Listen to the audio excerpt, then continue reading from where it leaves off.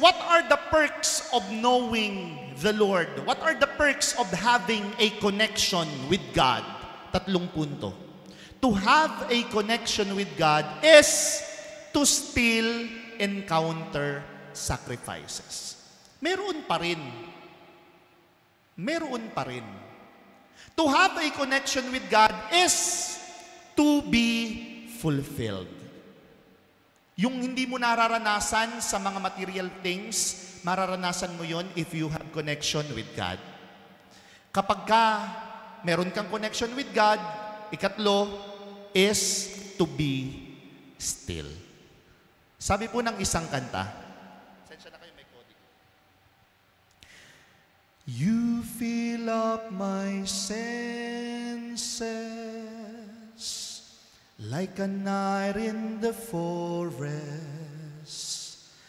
like the mountains in springtime,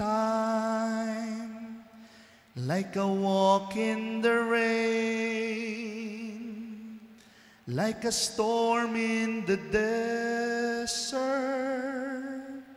like a sleepy blue ocean. You fill up my senses. Come fill me again. Mga kapatid, ito siguro yung magandang paunawa eh.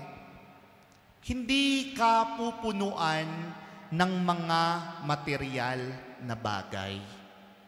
Walang kahit ano, walang kahit sino ang makakapuno sa kauhawan mo.